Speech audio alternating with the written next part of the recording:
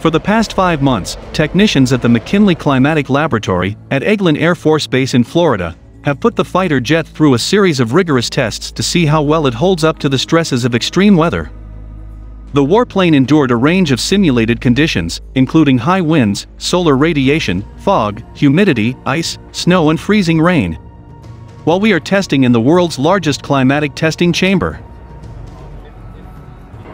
We're pushing the F-35 to its environmental limits ranging from 120 degrees Fahrenheit, 48.8 degrees Celsius, to negative 40 degrees and every possible weather condition in between. An F-35 test pilot who performed extreme cold testing on the aircraft said in a statement, Supersonic, the 10 fastest military airplanes. Developed by Lockheed Martin, the F-35 Lightning II is marketed as an all-weather stealth aircraft. It's expected to be used by 13 countries around the world, according to Air Force officials. That means it'll need to fly in extreme heat, over the outback of Australia, as well as in frigid cold, over the Arctic Circle above Canada and Norway.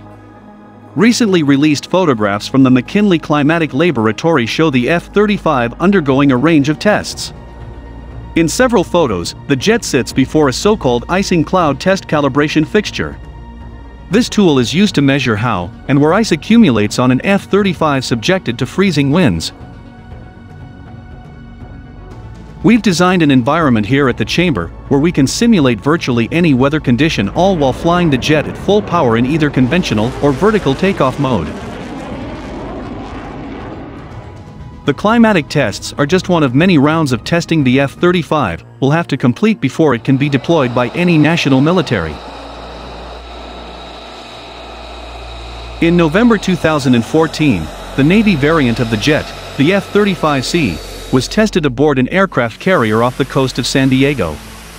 The plane successfully completed a series of modified landings and takeoffs at sea.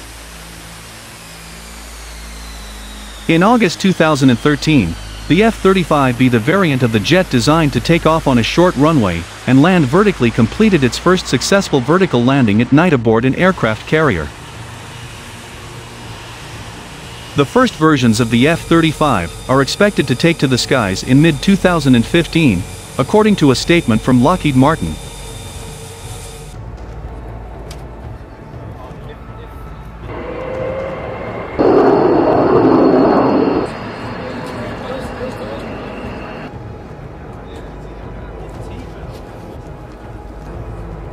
唱。